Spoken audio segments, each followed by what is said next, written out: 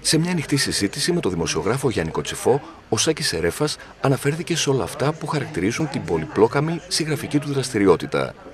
Η σημερινή βραδιά θα είναι μια ωραία αφορμή σε αυτό το φιλόξενο χώρο για να κουβεντιάσουμε για το έργο μου, τα πεζά, τα θεατρικά, τα ποιητικά και ιδιαίτερα για το τελευταίο πεζογραφικό μου βιβλίο, την νουβέλα «Έξω χιονίζει», η οποία διαδραματίζεται στη Θεσσαλονίκη στη διάρκεια του Πρώτου Παγκοσμίου Πολέμου.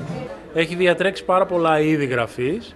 Έχει ασχοληθεί πάρα πολύ με την ιστορία της Θεσσαλονίκης, την οποία και έχει ενσωματώσει σε διάφορες εκδοχές λογοτεχνικών βιβλίων. Έως σήμερα ο Σάκης Ερέφας έχει εκδώσει 57 βιβλία με ποίηση, πεζογραφία, θέατρο, μελέτες, μεταφράσεις και ανθολογίες. Έχει γράψει 16 θεατρικά έργα, τα οποία έχουν ανέβει στο Εθνικό Θέατρο, το Κρατικό Θέατρο Βορειοελλάδος, στο Φεστιβάλ της Επιδαύρου, στο Θέατρο Τέχνης Κάρολος Κούν και στο εξωτερικό. Η Θεσσαλονίκη επανέρχεται θα έλεγα συχνά στο έργο μου. Ε, θεωρώ ότι είναι μια ενδιαφέρουσα πόλη για ένα συγγραφέα.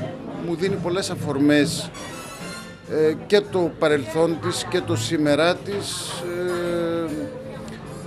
Ε, ειδικά η Θεσσαλονίκη του Πρώτου Παγκοσμίου Πολέμου που είναι και το θέμα της νουβέλας με τραβάει ιδιαίτερα.